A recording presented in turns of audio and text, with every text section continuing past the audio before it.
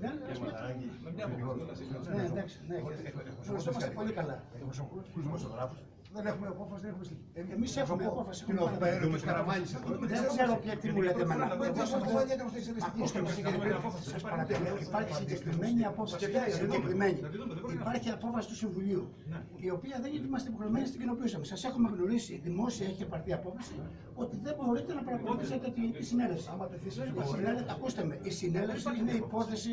Η συνέλευση είναι υπόθεση των ενώσεων και η Εκτελεστική Επιτροπή έχει πάρει μία απόφαση. Αυτή η απόφαση σας κοινοποιήθηκε από χθε σε εσάς κύριε Πρόεδρε. Μιλήσατε με τον Πρόεδρο.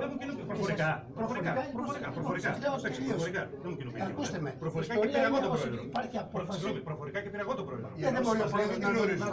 Πρέπει να περιμένει. Προφορικά δεν είναι Γιατί δεν με πήρατε Λοιπόν, απόφαση, κύριε ακούστε με. Παπαγγελόπουλε. Γιατί δεν με πήρατε.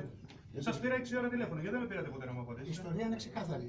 Δεν με Είναι πήρατε ποτέ να μου ξεκάθαρη. απαντήσετε. Μου στείλατε να μην Ακούστε, γνωρίζω ακούστε, κανένα. Μου πήρατε ποτέ να μου δεν- απαντήσετε. δεν κύριε είμαστε Παπαγγελόπουλε. προβλήματοι, είμαστε Όχι μόνο δική μας. σας μας είπατε. Λοιπόν, Δεν ξέρω ποιοι δικοί μας. Μέλος του Συμβουλίου. Πέστε Ένα ποιος, λεπτό, ποιος, ένα ποιος, λεπτό. ποιος, πέστε ποιος, ποιος, να τον Ένα φράξω λεπτό. αυτό. Για ρωτήσω, τον δεν με πήρε ποτέ να μου απαντήσει. Δεν ξέρω κάτι μπορεί να έχει δουλειά. άνθρωπος, Όχι, δεν είχε μπαταρία στο τηλέφωνο. Από τι 6 μέχρι τι 10. Δεν με πήρε ποτέ. Ακούστε με, Λοιπόν, ακούστε με. απόφαση λοιπόν δεν υπάρχει. Να τη Ναι, δούμε την Αυτό το απόφαση λέτε εσείς. γραπτός. Αυτό το Να λέτε τη δούμε εσείς. γραπτός Δεν την είναι απόφαση. απόφαση. Πρέπει να τη δούμε Σας λέω γραπτός. λοιπόν ότι υπάρχει απόφαση. Να τη δούμε γραπτός. να Υπάρχουν Δεν μέλη είναι που γραπτός. λένε Η απόφαση ότι δεν δεν φεύγει. Το Δεν αντιλαμβάνεστε. ξέρω ποια μέλη και σε ποιον Μπορεί να μπορεί εκθέσω εγώ το Δεν φεύγουμε ποτέ να τη δούμε γραπτός την απόφαση. Δεν φεύγουμε. Εξαγωγικά δηλαδή, έτσι.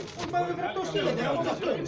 Δεν υπάρχει, σας λέω υπάρχει απόφαση ότι... Θέλουμε συνέλευση- γραπτός την η απόφαση να τη συνέλευση δούμε είναι και να ανοιχτά, φύγουμε. Ανοιχτά. Θέλουμε γραπτός την απόφαση και να φύγουμε. Πιο καλά να την πάρεις Ναι, να κάνει.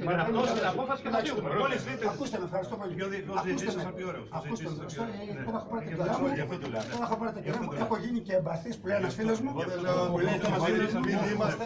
Με μαθήστε Ναι, πάει γι' σε αυτό. αυτό. Γι' Πάει αυτό. στο μόνο εκδικητικό του Λοιπόν, λόγου. Να δούμε γραπτός την απόφαση και θα φύγουμε. Μόλις δούμε γραπτός την απόφαση. Πλάι γράφεις Ναι, ναι. ότι έχουμε Μόλις- το αντίθετο. Γράφεις. Μόλις δούμε Και γραπτός ότι την στα απόφαση. πρακτικά. Λοιπόν, Ακούστε με. Γιατί δεν βγαίνει μας. Εγώ δεν είμαι, εγώ δεν είμαι δικαστής, εγώ δεν αποφασίζω. Εγώ δεν αποφασίζω. Να να ρωτήσω. Δεν υπάρχει απόφαση. Θα τη δούμε γραπτός την απόφαση. Λοιπόν, Δεν πρόκειται να φύγει. Ποτέ δεν πήρατε τρία, τηλέφωνο. Φοβερό. Θα μπορούσατε να πάρετε. Έξι σας πήρα τηλέφωνο, δέκα